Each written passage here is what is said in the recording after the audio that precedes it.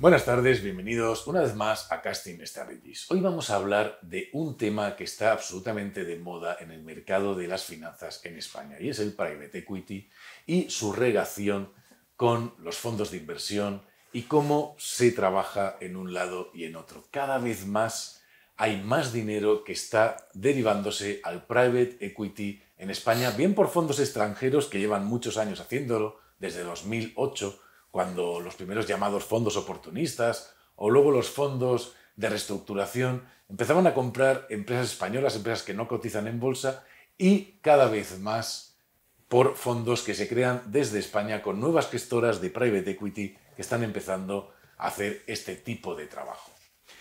¿Qué te parece a ti el private equity? ¿Qué te parece a ti el private equity versus fondos de inversión? Es verdad que, por un lado, el private equity, pues oye, no cotiza y no tiene valor liquidativo diario, con lo cual los gestores están muy tranquilos y no tienen que dar cuentas a nadie durante mucho tiempo, y eso es una cosa muy buena, pero también es verdad que en España y Europa, que es un mercado donde no hay tanta tradición de salir al mercado a cotizar por parte de las empresas, pues hay muchas oportunidades en el mundo del private equity que no están en los mercados, ¿no? ¿Qué te parece a ti esta, y, toda la nueva ola de inversión en el private equity que estamos viendo en España? Pues hombre, yo creo que es, eh, yo creo que es muy interesante, lógicamente. Me parece que el private equity al final es el... Eh, si nosotros, muchos inversores se, piensan eh, en que algún día querrían ser como Warren Buffett, y Warren Buffett al principio pues hizo algo así, ¿no? Al final, esa idea de, de poder obtener rentabilidad eh, comprando empresas y, obtener hacer que esas empresas eh, em, ganen más dinero porque tú estás en la empresa respecto de cuando tú no estabas, todo eso es positivo, eh, te permite además tener un control más, más, más cercano de la empresa. Es, digamos, el, nuevo activismo, ¿no? De alguna manera aplicado a, para, sea, hecho como para que cualquiera pueda hacerlo, ¿no? Entonces, Hoy por hoy todos podemos participar de la inversión en private equity, tenemos muchos fondos de inversión que lo hacen, como con todo hay que nuevamente seleccionar al, gestor adecuadamente, lógicamente, porque hay de todo, hay muy buenos y patanes, pero, eh, pero creo que al final no hay diferencia, quieren hacer lo mismo, solo que unas empresas, un fondo de inversión es un fondo mutuo que, eh, tiene que comprar empresas cotizadas, que además tienen que ser bastante grandes, mientras que por otro lado eh, el private equity se puede beneficiar de, la, de empresas micro, súper pequeñitas, eh, que las puedo hacer crecer y ganar una barbaridad de dinero con ello. ¿no? Y has dicho una cosa que me parece clave en esta historia y, que me parece que tiene mucho que ver con el marketing que se ha hecho en España del Val Investing. ¿no? Val Investing, Warren Buffett, fondo mutuo. Nada que ver, vamos. ¿Quién ha unido esas tres cosas? No lo sé.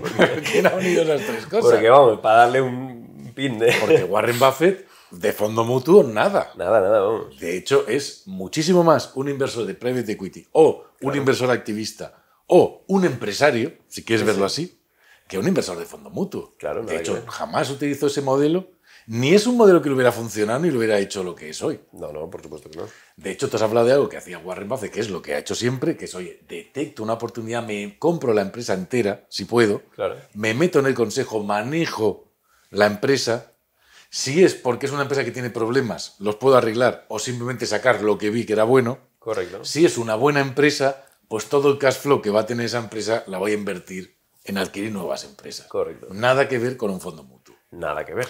Yo creo que eso tenemos que, dejarlo muy claro y hay que dividir entre Warren Buffett y Peter Lynch, ¿no te parece? Que sí que sería el gran gestor de fondos mutuos. Claro, yo creo que el, Peter Lynch sería el gestor de fondos mutuos, el que, el que si alguien se tiene que comparar, no es decir, yo, yo eh, gestionando un fondo de inversión o gestionando una cartera al estilo fondo de inversión, eh, o sea, comprando acciones tal cotizadas, eh, me tengo que parecer a alguien, pues Peter Lynch podría ser un ejemplo, si, si te gusta ese estilo de inversión. ¿no?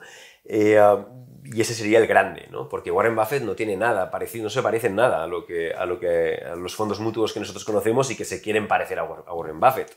Pues lo tienen mal, porque es que no se puede.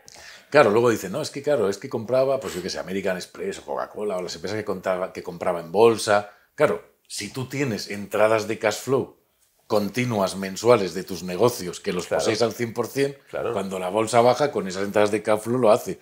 Nada que ver con un fondo mutuo. Nada que ver con un fondo mutuo. Que tienes un dinero que es un dinero Que además cuando el mercado baja sale dinero. Exacto. Eso es todo lo contrario. Todo lo contrario. Y cuando el mercado sube, entra dinero. Exacto. Eso es muy difícil de gestionar. Exacto.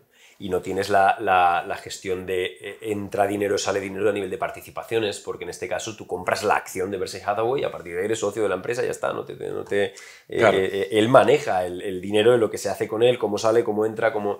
eh, nada que ver con, con la inversión en sí, ¿no? O sea, una cosa es que la acción de Berkshire Hathaway caiga porque tú vendes acciones y otra cosa es que las acciones que tienes compradas a través de Berkshire Hathaway, las tiene compradas Berkshire Hathaway en Coca-Cola, no tienes que venderlas para hacer liquidez para pagar al... Para al- pagar a esa al- persona que quiere claro, salir de la es que no tiene nada que ver. Sino que, tienes- que es como si en el fondo mutuo, cuando tú vendes una participación, tuvieras que buscar a otra persona para vendérsela. Exacto, exacto. Pero tú sigues estando con tus acciones ahí. No contra el patrimonio No del contra el fondo, que es lo que fondo. sucede Claro. en los fondos mutuos. Entonces, hay que eliminar, o sea, hay que decir, si acaso yo diría, Warren Buffett, Private Equity, Totalmente, ya no. Peter Lynch, fondo de Fondo de inversión. inversión. Y entonces sí, tengo, digamos, un, un referente Tengo muy dos claro referentes muy grandes, claro. en cada uno de, de los lados. ¿no? Claro. Y eh, es verdad lo que tú decías también, que el private equity se lo hacían las grandes casas o las, las grandes eh, family office, Exacto. los grandes millonarios que podían comprar las empresas por ellos mismos, pero hoy en día tenemos la posibilidad de hacerlo. Ha Creo que desde vinculizado. 100.000 euros, Claro, pues puedes tener un, un private equity claro. en un fondo que, oye, si lo hace bien, es una rentabilidad muy interesante y además sucede una cosa en España, y es que, claro, como no cotizan, Claro, y el inversor español, europeo, tiene tanto miedo a la volatilidad, claro. Claro, sucede una cosa curiosa. Claro. Y es que te venden muy mal los fondos de private equity que la gente está muy tranquila, Exacto. porque no cotizan. Porque lo cotizan. Y encima no tienen Y liquidez. no ir. Claro. Sí, es curioso, es curioso porque ahí está otra vez el, el- pues eso, los miedos, las emociones del inversor y tal.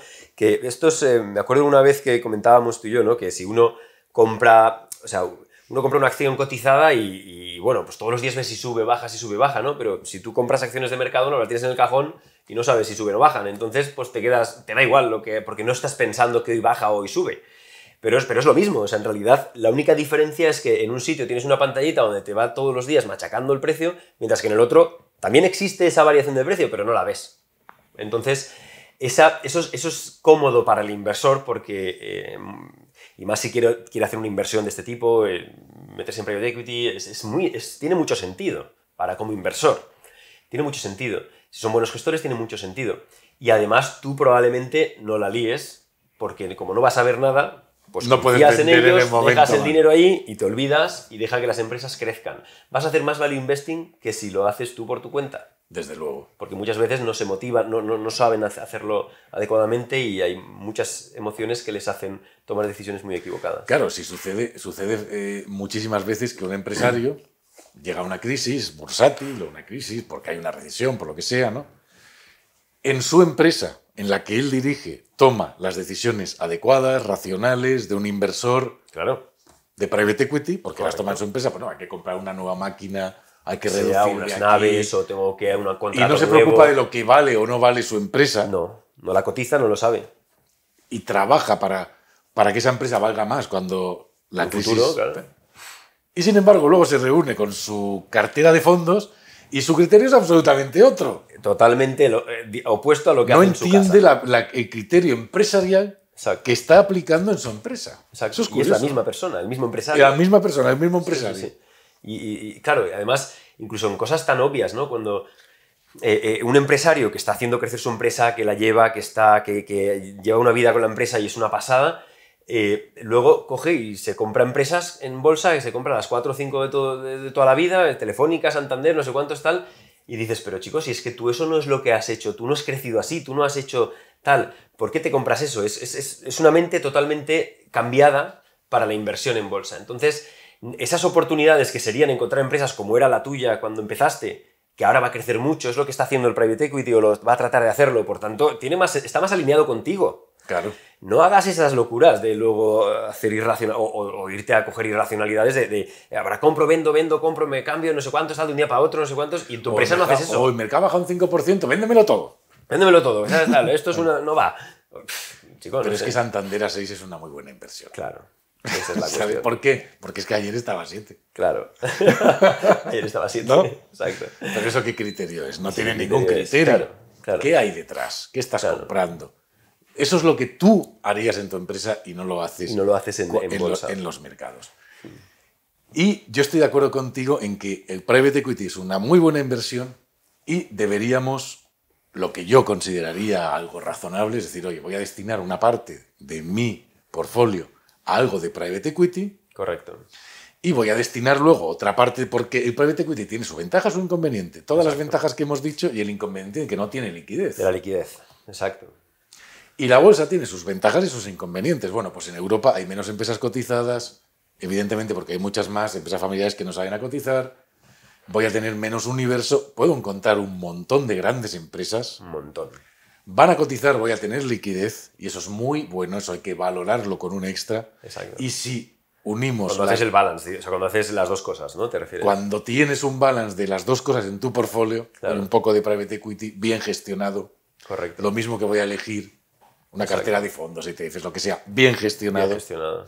las dos cosas pueden crear un portfolio muy ordenado. ¿No te parece a ti eso? Sí, yo creo que es muy interesante porque es verdad que hay, la ventaja de la liquidez es una maravilla para, en bolsa y hay muy buenas empresas en las que invertir en bolsa, pero muchísimas. Por tanto, al final yo creo que es, eh, si, si tienes que seleccionarlas tú, utiliza criterios como utilizarías en tu negocio para seleccionar las acciones en bolsa cotizadas, que al menos tengas convicción en qué tipo de empresa compras y por qué, y por otro lado un portfolio de private equity me parece súper interesante para una parte que no va a tener liquidez, pero tú sabes que a futuro eso puede ser muy rentable y crecer con esas empresas y a ti te interesa eso como inversor, igual que has crecido con la tuya, pues hazlo así, ¿no? Claro, Creo y así sí. podrías tener en tu portfolio a Warren Buffett y a Peter Lynch, Exacto, si los puedes encontrar. exacto. Los nuevos Warren Los- Buffett y. Peter Lynch, Co- ¿no? correcto, Eso sería una maravilla, Eso ¿no? sería una maravilla. Teniéndolos trabajando los dos. Exacto. Para ti. Para ti. Fantástico. Fantástico. Bueno, pues hasta aquí eh, un poco de investigación acerca del private equity y de los fondos de inversión y de cómo podemos abordar la inversión en cada uno de ellos. Espero que os haya interesado y nos vemos en un nuevo Casting Strategies. Gracias, no olvidéis suscribiros al canal y compartir estos vídeos en las redes sociales si os han interesado. Nos vemos.